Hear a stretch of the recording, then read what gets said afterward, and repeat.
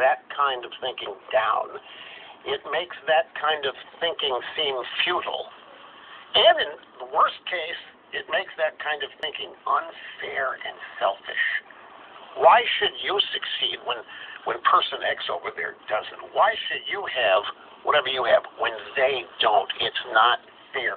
Therefore, somebody should come and take it away from you, not teach them how to also get it. That's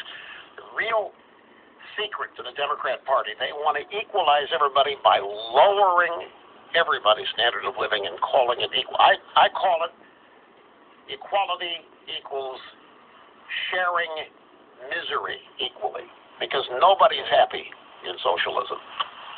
Right on, right on, Rush, right on. Right on, dude. Right on. thank, thank you very much, Rebecca. I appreciate it so much. Absolutely. Bye, Rush. Listen to you later and tomorrow and every other day. Thank you much.